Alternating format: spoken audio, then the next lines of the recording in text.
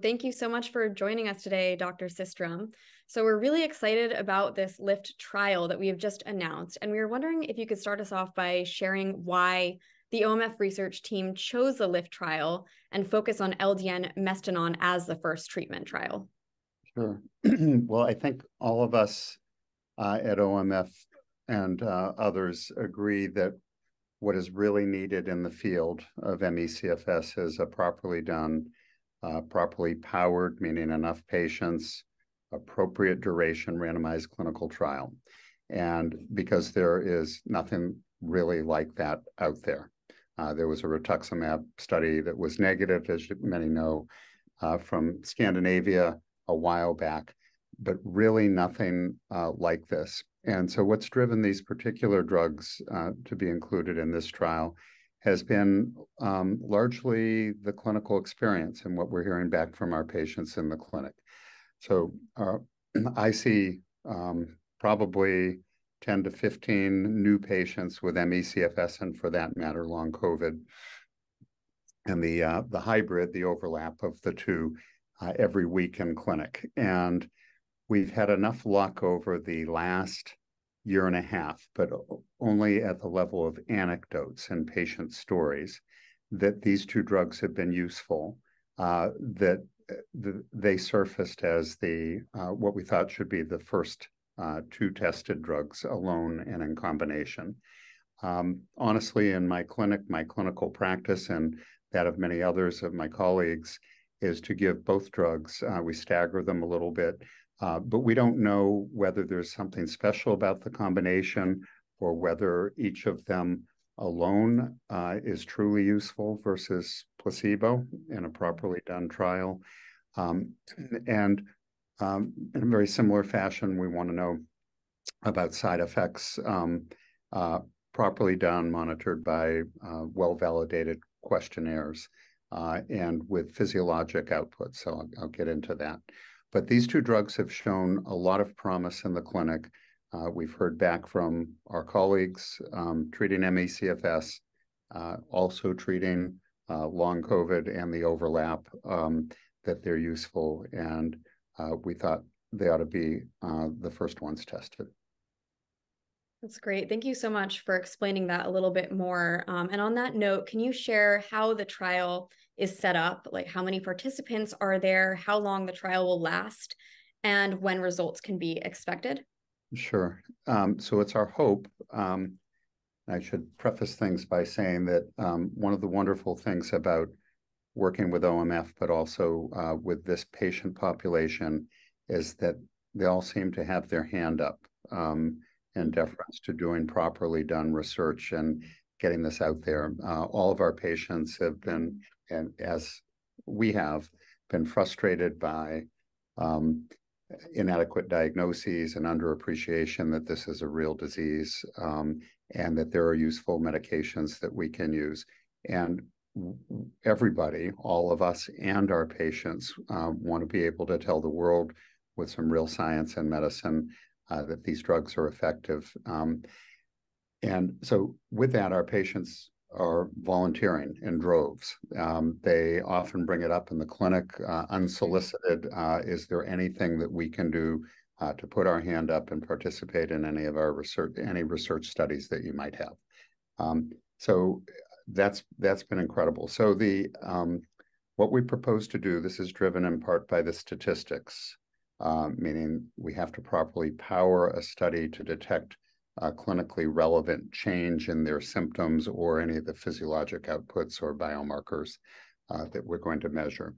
Uh, we're going to do 40 patients on Mestinon, 40 patients on LDN, low dose naltrexone, 40 with a combination, and then 40 with placebo. And our statisticians tell us that this is a sufficiently large study uh, to detect changes um, and not miss them. Because if mm-hmm. one does too small a study, one can miss uh, real changes that are there, and we certainly don't want to do that. Um, the individual patients will be in the trial for three months. Uh, we won't know what they get uh, it's all double-blinded, placebo-controlled. Only the pharmacy at the Brigham and Women's Hospital knows what patients are getting. uh, and they will not break that code until the very end of the study. We're predicting this will probably take at 160 patients, three months each, uh, two major time points at the beginning, at the end, and at the end, um, probably two years. Uh, mm-hmm. we hope it's quicker than that, uh, but uh, we shall see. I don't think that um, enrollment will prove to be limiting. Um, so uh, that these are our hopes. That's excellent. It's great to hear about the robust participation. I know a lot of um, you know patients are such advocates in their own care and in advancing research. So it really is great to see that we have so many hands up for this trial. Um, so a little bit more about this trial setup. We were wondering if you could um, explain. So what we understand is that the biosamples are collected before and after treatment, and then they will be studied. So can you explain why this is important beyond just how the participants respond to the medications? Right. Um, so there actually is a big picture answer that I'll give you first to that question, and it's a very good question. So ME/CFS, of course, is defined currently clinically. Uh, we are all keenly interested in any biomarker that might reliably identify patients with ME/CFS and differentiate them from either other diseases or from normal. Uh, because if we had a simple blood test that any physician could do in the office that would really leverage the entire field. Then we would be able to identify patients, not just based on questions um, and the clinical framework, but on a biomarker. So um, that underlies all of this. But the reason it's important to include biomarkers, and I'll explain uh, broadly which ones we're, we'll be looking at or hope to look at, um, is that in a strange sort of way, we may be able to identify subtypes of disease. There may be subcategories of disease that are identified by the biomarkers that may drive the holy grail in this business, which is precision medicine.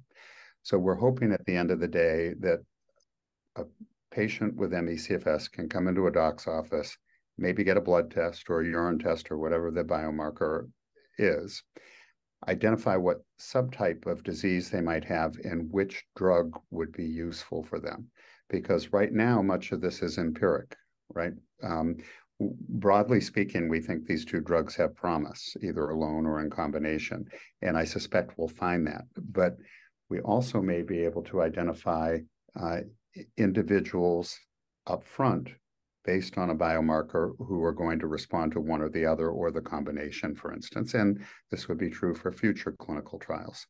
So, um, in a strange way, the results of treatment will inform all of us about the pathogenesis of the disease.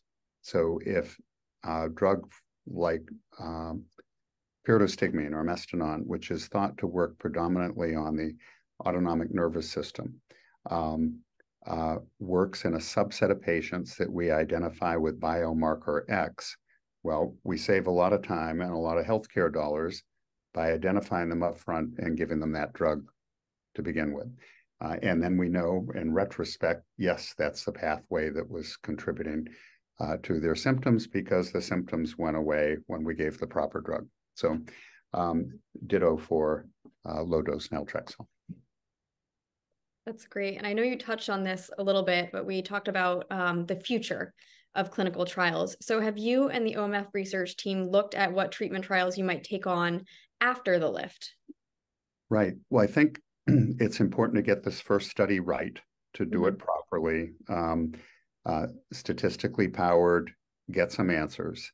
And then, yes, there is a, a whole list of other promising medications, but like low dose naltrexone and mestinon currently, um, they're anecdotal reports or small series or open label studies, you know, not not proper science. So they look like other drugs uh, that have promise, um, maybe real promise, but we want to prove it. So uh, the OMF uh, steering committee has assembled a tentative list of future trials, and I'm sure that's going to be continued to be updated over time, uh, and we'll vote on it repeatedly. I think we need to get this study done first, and then yes, we'll attack the next one. Excellent. I think this will be a very important starting point for Open Medicine Foundation and for patients because it will allow us to kind of understand why these drugs work for some people and why they don't for others. And you mentioned subtyping, which I think is also extremely important because there are so many variations of disease, or so it seems. Um, which so we did get a few other follow-up questions on social media, and you've already answered a lot of the questions we've been seeing. But I was wondering if you could answer a couple more questions from patients themselves. So one of the questions we have received is, is it expected that the combination of Mestinon with LDN will improve post-exertion malaise? Um, it sure is our hope, and we've heard that anecdotally with both drugs, either alone or in combination. Um, you know, th this will be a little bit of conjecture, but we hope to prove it with some of the biomarkers and the results of the clinical study. Um, most of us in the field believe that post-exertional malaise has an inflammatory component to it um, that when a patient tells us they overdo, whether it's physically, cognitively, or emotionally on day one, and they pay the price one or two days later, they feel like they have the flu. Well, what we know about the flu and a lot of infections, acute infections, is that um, the um, malaise that patients feel is very much related to systemic inflammation. Uh, both of these drugs uh, have the promise of being anti-inflammatory and mm. therefore serving post-exertional malaise well. Uh, Mestinon is a cholinergic drug, and it's known that that arm of the uh, autonomic nervous system, the parasympathetic nerve, is anti-inflammatory by its very nature. So over time, we believe maybe acute neural effects, which we have actually demonstrated in a small study, but over time it may actually be anti-inflammatory. And then um, low dose naltrexone is known to be anti inflammatory. It tamps down the toll like receptor innate immune pathway um, and without immunosuppressing a patient. So both drugs have the promise of being anti inflammatory, and therefore, I think, uh, and also based on anecdotes and stories back from the patients um, serving post exertional malaise well. That's great. I think that answers one of our other questions that we had, which is for anyone taking Mestinon with success, what symptoms does it help with? Yeah, um, it's heterogeneous. I have heard basically patients uh, state that they are better uh, with all of um, the classic symptoms related to uh, ME/CFS. So I have gotten back from patients that fatigue and PEM are better lumping them together for a moment, uh, that uh, brain fog is better, orthostatic intolerance is better, um, and uh, absolutely pain related fibromyalgia type pain is better. Uh, but uh, we hope to, again, identify individuals who might benefit in their individual symptom that might benefit. And for anyone taking low dose naltre- um, naltrexone with success, I think that was the other question is what symptoms specifically does that one help with when we're looking with, at that in isolation? Yeah. Um, so same answer, really. Um, mm-hmm. uh, I have heard every symptom related to ME/CFS by the Canadian criteria, for instance, um, improve on low dose naltrexone. Um, and yeah, the whole idea would be to uh, determine whether that's consistent across the board or whether it's individual patients who respond and what biomarker can we correlate with it. Absolutely. And then would the ultimate hope be that if this trial was to, was shown to be promising, would it make these treatments or drugs more accessible in office to patients everywhere? Yeah, I think um, you know, we're obviously not the manufacturers of the drugs and we don't own the labeling of the drugs, but I I do believe um, given my current clinical practice, that uh, healthcare providers who hear um, our work and what we've realized with these two drugs in individual patients, uh, when they hear the stories, um, they are open to the idea that they can uh, use an off-label drug and have success in ME/CFS.